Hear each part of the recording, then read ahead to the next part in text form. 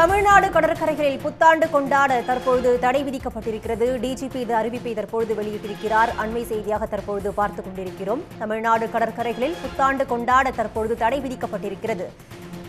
ஏற்கனவே கொரோனா மற்றும் ஓமைக்ரான் பரவல் அதிரொலியாக பல்வேறு கட்டுப்பாடுகளை தமிழக அரசு விதித்திருக்கிறது. இந்நிலையில் தமிழ்நாடு கடற்கரைகளில் புத்தாண்டு கொண்டாட தடை விதிக்கப்பட்டிருக்கிறது.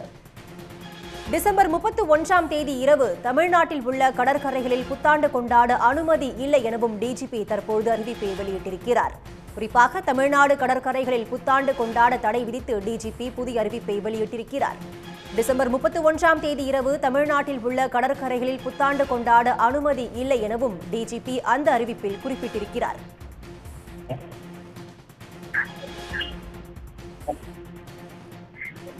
இது பற்றி விரிவான தகவலை தர காத்திருக்கிறார் செய்தியாளர் கிருஷ்ணா. கிருஷ்ணா தமிழ்நாடு கடற்கரைகளில் புத்தாண்டு கொண்டாட தடை விதிக்கப்பட்டிருக்கிறது. டிஜிபி என்னென்ன அறிவிப்புகளை வெளியிட்டிருக்கிறாரு? விவரம் என்ன?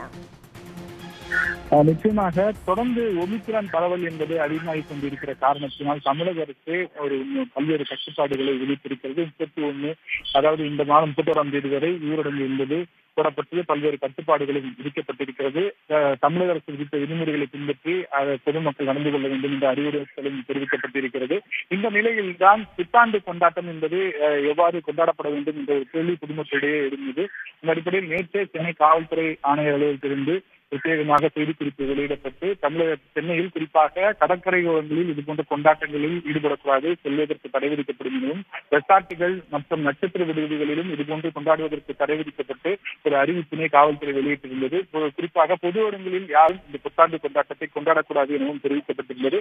இந்த நிலையில் தான் தற்போது தமிழகம் முழுவதும் உள்ள பொதுமக்களுக்கு அறிவுறுத்தும் வகையில் டிஜிபி சைலேந்திர பாபு ஒரு அறிவிப்பை வெளியிட்டிருக்கிறார். குறிப்பாக இந்த நேரத்தின் போது இந்த பொழுது இடங்களில் சென்று புத்தாண்டு கொண்டாட பேச்சுவார்த்தைகளை நடத்துவதை தவிர்க்க வேண்டும் எனவும் சாலை ஓரங்களில் கூட்டம் கூடுவதை இருசக்கர வாகனங்களில் சுற்றுவதை ஆகியவற்றை தவிர்க்க வேண்டும் எனவும் டிஜிபி சைலேந்திர பாபு அறிவுறுத்தியிருக்கிறார். குறிப்பாக நீண்ட தூரம் பயணந்தவர்கள் இருசக்கர வாகனத்தை பயன்படுத்தி அந்த புத்தாண்டு கொண்டாட்டத்தின் போது செல்ல வேண்டாம் எனவும் மேலும் நான்கு சக்கர வாகனங்களை பயன்படுத்த உரிய ஆவணங்களுடன் செல்ல வேண்டும் என்றும் தெரிவித்திருக்கிறார். ஹோட்டல்கள் கூட தங்கும் விடுதி ஹோட்டல்கள் ஆகியவற்றில் கூட இரவு பதினோரு மணி வரை தமிழக அரசு என்ன வழிகாட்டுதல் நெறிமுறை தெரிவித்திருக்கிறதோ அதை பயன்படுத்தி அதை நடத்தப்பட வேண்டும் எனவும் குறிப்பாக அனைத்து ஊழியர்களும் அவ்வாறு செயல்படும் அதாவது அந்த ஹோட்டல்களில் நட்சத்திர விடுதிகளில் பணிபுரியும் ஊழியர்கள் இரண்டு தவணை ஊசிகளை கண்டிப்பாக போட்டிருக்க வேண்டும் என்று தெரிவித்திருக்கிறார்கள். குறிப்பாக தொடர்ந்து விடுமுறை நாட்களாக இருக்கிறதால் வெளியூருக்கு செல்பவர்கள் கூட இந்த புத்தாண்டு கொண்டாட்டத்தை பயன்படுத்தி திருடர்கள் கொள்ளையர்கள் கொள்ளையடிக்க வாய்ப்பு இருக்கிறது.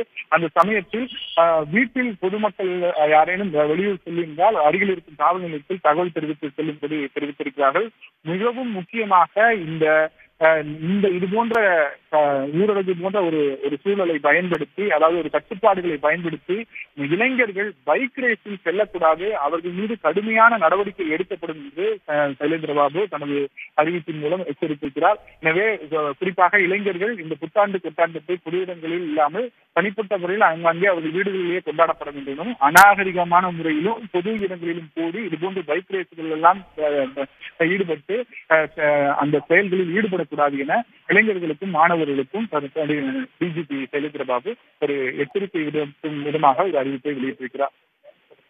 கிருஷ்ணா புத்தாண்டு கொண்டாட்ட தடை குறித்து பல்வேறு விஷயங்களை வந்து டிஜிபி சைலேந்திர பாபு அவர்கள் தற்பொழுது அறிக்கை வாயிலாக வெளியிட்டிருக்கிறார். கேளிக்கை விடுதிகள் ரெசார்ட் பண்ணை விடுதிகள் வணிகம் சார்ந்த நிகழ்ச்சிகளில் வந்து என்னென்ன கட்டுப்பாடுகள் விதிக்கப்பட்டிருக்கு இந்த கொண்டாட்டங்களுக்கு தடை தொடர்பாக ரோந்து பணியில் எவ்வளவு காவலர்கள் பணியமர்த்தப்பட இருக்கிறார்கள் அது பற்றி விவரம் இருக்கா?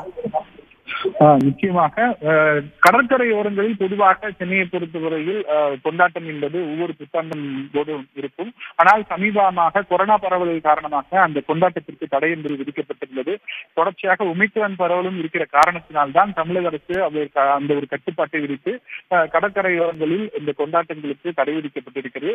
இருப்பினும் நட்சத்திர விடுதிகளிலும் ரெசார்ட்டுகளிலும் குறிப்பாக ஓஎம்ஆர் ஈசிஆர் போன்ற பகுதிகளில் ரெசார்ட்டுகளில் இதற்காக வணிக ரீதியாக டிக்கெட்டுகள் விற்பனை செய்து கொண்டாட்டங்களை நடத்த ஆஹ், அவர்கள் திட்டமிட்டிருக்கிறார்கள். ஆனாலும் அதுவும் ஒரு ஒமிக்ரான் பரவுவதற்கு ஒரு முக்கியமாக காரணமாக அமையும் என்ற காரணத்தினால் அதற்கும் தடை விதித்து காவல்துறை வந்து அறிவிப்பை வெளியிட்டிருக்கிறது இது போன்ற இடங்களில் அவர்களது விடுதிகளில் குறிப்பிட்ட தமிழக அரசின் வழிகாட்டு நெறிமுறைகளை பின்பற்றி அவர்களது ஓட்டல்களுக்குள் அஹ், நடத்திக் கொள்ளலாம் என்று தெரிவித்திருக்கிறார்கள். வணிக ரீதியாக டிக்கெட்டுகள் விற்பனை செய்து அதிகம் பேரை கூட்டம் கூட்டி ஒரு கொண்டாட்டம் போன்று புத்தாண்டை இது போன்ற விடுதிகளிலோ நட்சத்திர விடுதிகளிலோ கொண்டாடக்கூடாது என்று தெரிவிக்கப்பட்டிருக்கிறது. இது போன்று பல்வேறு கட்டுப்பாடுகளை ஒமிக்ரான் பரவல் காரணம் காரணமாக தற்போது தமிழக காவல்துறை அறிவித்திருக்கிறது. அந்த ஒரு அறிவிப்பாகத்தான் தற்போது தமிழக டிஜிபி சைலேந்திர பாபு இந்த அறிவிப்பும் பார்க்கப்படுகிறது. கிருஷ்ணா தற்போதைய விவரங்களுக்கு நன்றி. உடனுக்குடன் செய்திகளை தெரிந்து கொள்ள சன் நியூஸ் பெல் ஐகானை கிளிக் பண்ணுங்க.